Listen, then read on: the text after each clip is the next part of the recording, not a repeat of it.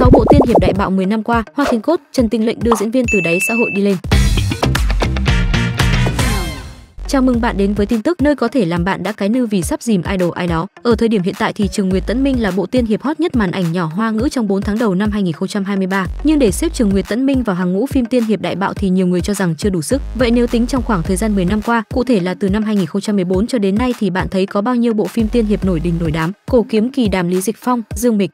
sau thời tiên kiếm kỳ hiệp 3, không ít người nghĩ là dòng phim tiên hiệp sẽ dần lụi tàn, nhưng thành công của cuộc kiếm kỳ đàm vào năm 2014 dường như đã lại mở ra một con đường mới cho tiên hiệp, giúp dòng phim này tạo ra thị trường rộng lớn. Còn nhớ thời điểm cuộc kiếm kỳ đàm lên sóng đã làm mưa làm gió trên màn ảnh, không chỉ giúp Dương Mịch củng cố vị trí ngôi sao hàng đầu mà còn đưa Lý Dịch Phong thành đỉnh lưu. Cho đến nay, cuộc kiếm kỳ đàm vẫn thuộc hàng kinh điển trong dòng phim tiên hiệp đó. Hoa Thiên Cốt, Hoắc Kiến Hoa, Triệu Lệ Dĩnh, Nói đến một bộ phim mở ra thời kỳ tiên hiệp ngược, nhiều người cho rằng đó chính là Hoa Thiên Cốt dự án tiên hiệp đại bạo năm 2015 với danh tiếng lan rộng ra khắp châu Á. Câu chuyện của Hoa Thiên Cốt được đánh giá là rất thu hút, từ chuyện tình bị ngăn trở dẫn đến những hồi ngược khiến khán giả rơi nước mắt. Thành công vượt ngoài sức mong đợi của Hoa Thiên Cốt đã đưa bộ đôi chính Hoắc Kiến Hoa Triệu Lệ Dĩnh thành ngôi sao hàng đầu và cũng là phim đáng nhớ nhất trong sự nghiệp của họ. Đến hiện tại, nhắc đến tiên hiệp sư Đồ Luyến vẫn chưa có bộ phim nào vượt qua Hoa Thiên Cốt, kể cả Trọng Tử, Tam Sinh Tam Thế Thập Lý Đào Hoa Dương Mịch, Triệu Hữu Đình.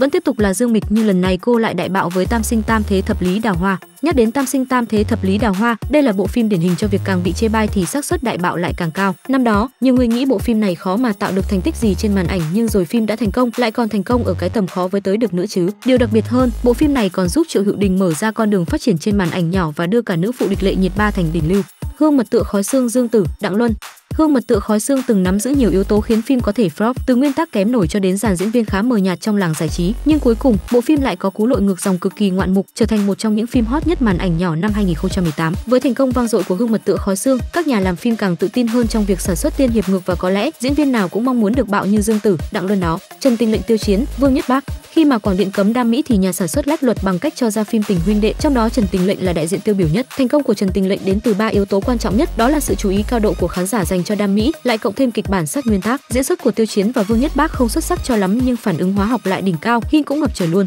Sau bộ phim này, hai nam chính của chúng ta còn bước vào hàng ngũ đỉnh lưu nữa đó. Lưu Ly Thành Nghị, Viên Băng Nghiên, Lưu Ly được coi là bộ phim tiên hiệp bạo gần đây nhất. Lúc đầu, khán giả khá phân vân vì câu chuyện của Lưu Ly quả thật rất giống với hương mật tựa khói xương, chỉ e sẽ không làm nên cơm cháo gì. Nhưng Lưu Ly đã khiến cho khán giả trầm trồ kinh ngạc vì vẫn có thể làm mưa làm gió trên màn ảnh nhỏ vào năm 2020. Có thể Lưu Ly không bằng hương mật tựa khói xương năm xưa nhưng với thành tích ấn tượng này vẫn đủ để khiến bộ phim của Thành Nghị, Viên Băng Liên vang danh một cõi. Tính từ Lưu Ly thì giờ cũng đã 3 năm trôi qua, khán giả không còn thấy bộ tiên hiệp nào đại bạo nữa. Trường Nguyệt Tấn Minh hiện đang rất hot nhưng chỉ xếp vào mức có nhiệt độ cao mà thôi. Còn bộ phim mà khán giả đặt nhiều kỳ vọng sẽ có thể đại bạo chính là Ngọc Cốt Giao của Tiêu Chiến và Nhậm Mẫn, dự kiến lên sóng trong năm nay.